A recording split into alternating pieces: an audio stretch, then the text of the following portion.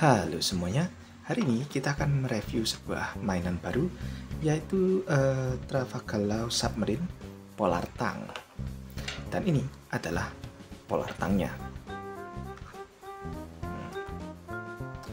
Uh, ada sesuatu yang unik dari mainan ini, yaitu saya membelinya dari sebuah edisi spesial yaitu edisi anime version yang kotaknya berbeda dengan uh, yang biasa kalian temukan untuk model kit Polar Tang yaitu kotaknya seperti ini nih.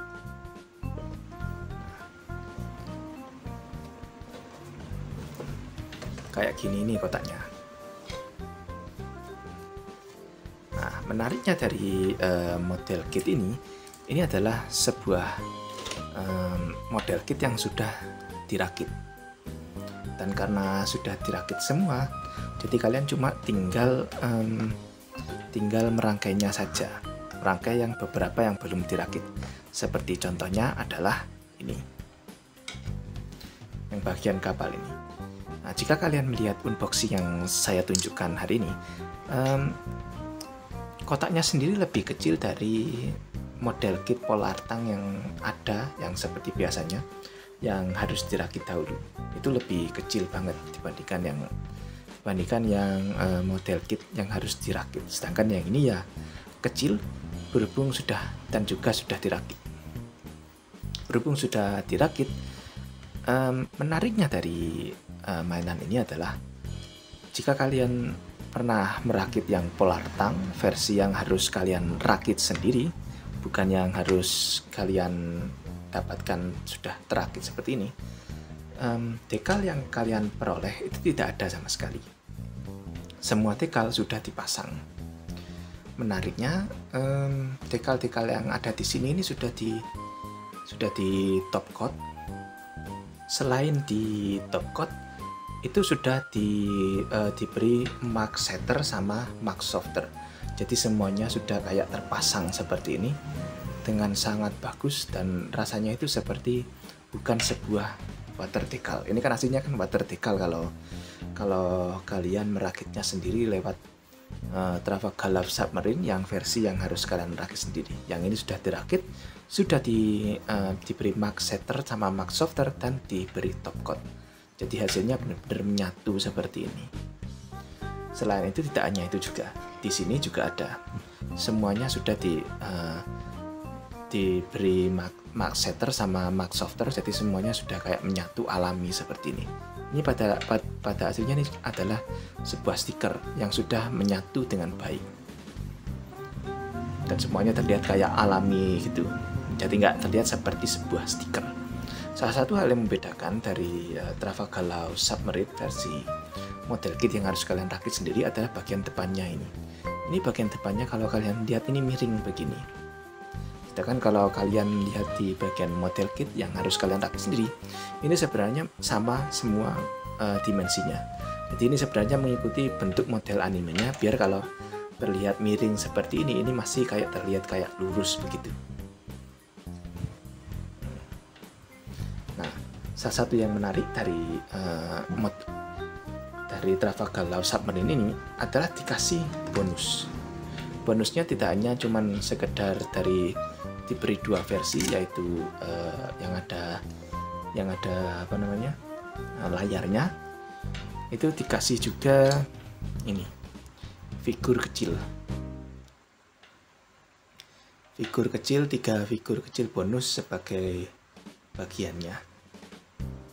Ini ada Luffy ini ada Travagalo sama Bebo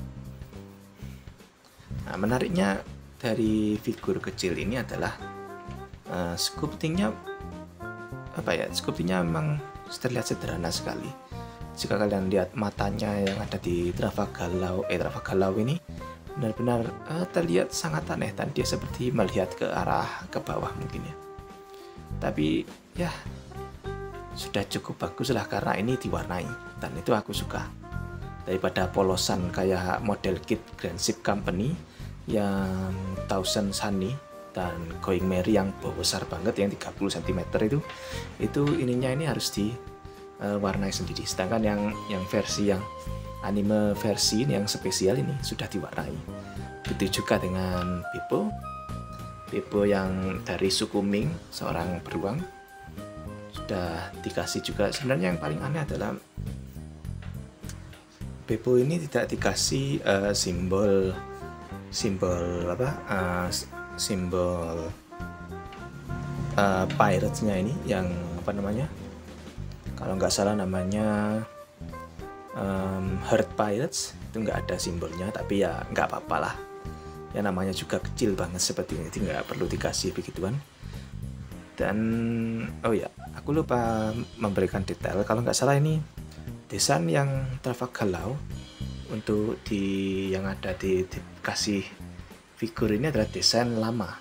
Desain pada saat sebelum uh, dua tahun sebelum pas Luffy dan kawan-kawannya pergi pergi uh, pergi beristirahat. Eh kok pergi beristirahat? Pergi untuk mengembangkan skill mereka selama dua tahun. Dan ini adalah versi yang dua tahun sebelumnya itu.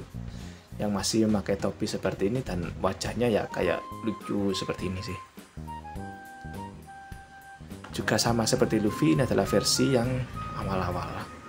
Jadi bukan versi yang dua tahun setelah dia berlatih untuk mendapatkan haki.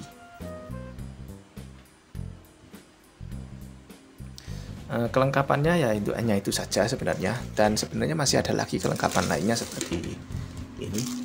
Uh, ini adalah untuk apa namanya untuk dipasangkan efek airnya sebenarnya. Dan repotnya aku tidak terlalu suka untuk menaruh uh, efek airnya ini ke polar tang ini. Alasan utamanya adalah ininya bagian um, lampunya ini ini benar-benar susah banget untuk dipasang. Dan kalau di versi model kitnya ini sebenarnya mudah untuk dipasang dan dilepas. Cuman entah kenapa kalau ini agak susah dilepas jadi saya takut untuk patah dan selain itu eh, selain ininya yang juga susah dipasang ininya juga. Kalian bisa lihat kalau um, ini benar-benar nggak nggak masuk banget. Jadi mungkin uh, bakalan aku kikis-kikis lagi biar biar masuk kayak yang ada di sini nih. Ini sudah hampir masuk jadi lebih bagus. Atau mungkin uh, agak susah lagi. Nah itu dia.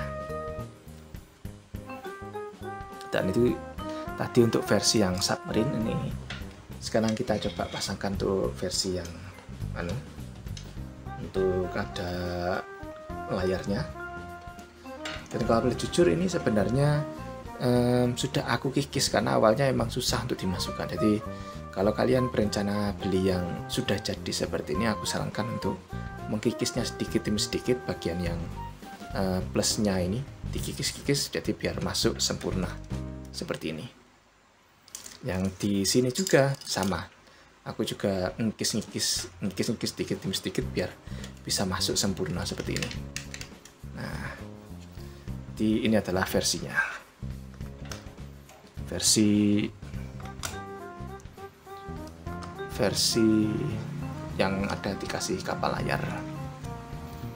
Cukup keren dan sangat bagus dan aku benar-benar uh, sangat suka sama uh, kapal selam Polar Tang ini karena karena ini kapal selam.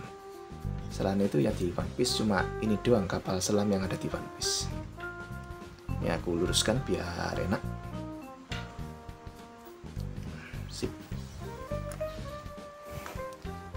Aku suka banget sama polar tang ini karena berbentuk submarine seperti ini. Keren.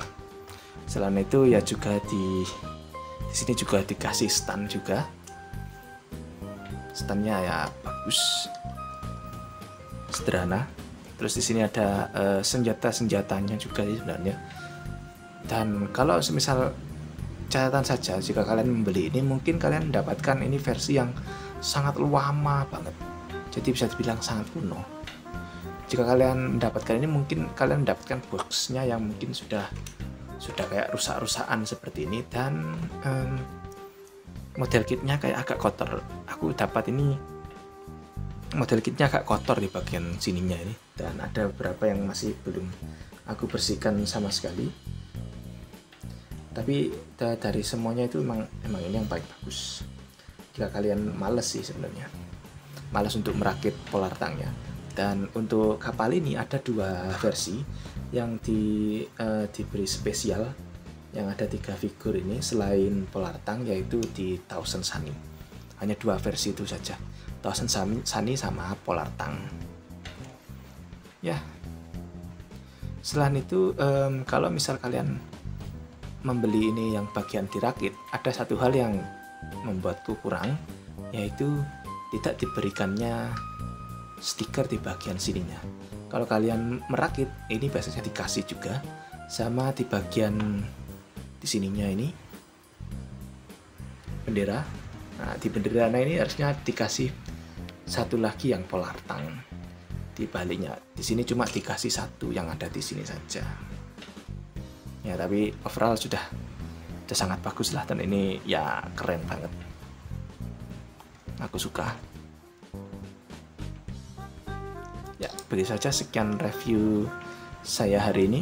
Mudah-mudahan kalian uh, tertarik untuk membelinya versi spesial ini yang ada tiga figur kecil imut-imut seperti ini